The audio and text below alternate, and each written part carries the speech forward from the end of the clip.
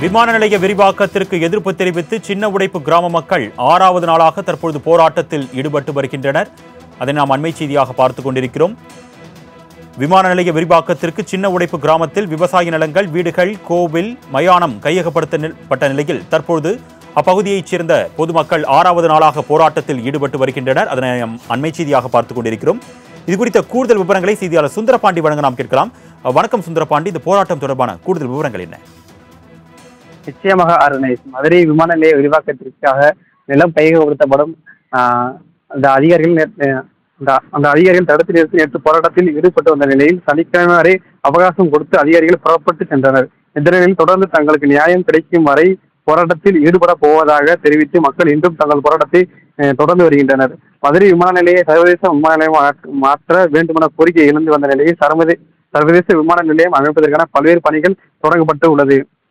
அறுநூறு ஏக்கருக்கு மேல் நிலம் கையெழுத்தப்படும் நிலம் கையெழுத்தப்பட உள்ளது தெரிவித்த நிலையில் விமான நிலையம் அருகே உள்ள பரம்புப்பட்டி சின்ன உடப்பு உள்ளிட்ட கிராமங்களில் இருந்து நிலம் கையகப்படுத்தப்பட்ட பணிகள் தொடர்ந்து நடைபெற்று வருகிறது. இந்த நிலையில் சின்ன உடப்பு கிராம கிராமத்தில் விமான நிலைய விரிவாக்கத்திற்காக ஊரில் உள்ள நூத்தொன்பது வீடுகள் மற்றும் நிலங்கள் கையகப்படுத்தப்பட உள்ளதாக கடந்த ரெண்டாயிரத்தி ஒன்பதாம் ஆண்டு அதிகாரிகள் தெரிவித்து அதற்கான பதிக பணிகளை செய்து வந்த நிலையில் ரெண்டாயிரத்தி ஒன்பதாம் ஆண்டு அப்போதே நிலம் மதிப்பீட்டு கணக்கிடப்பட்டு இரண்டாயிரத்தி இருபத்தி ஒன்பதாம் ஆண்டு ஆண்டு பயனாளிகள் நிதி வழங்கப்பட்டதாக கிராம மக்கள் தெரிவிக்கின்றனர்.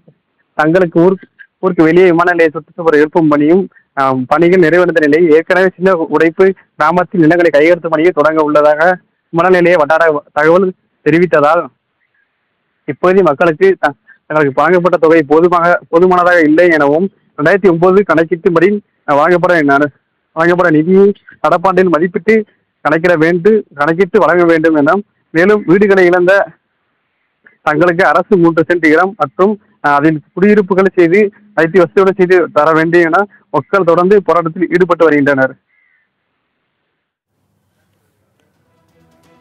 கூடுதல் விவரங்களுக்கு நன்றி சுந்தரபாண்டி.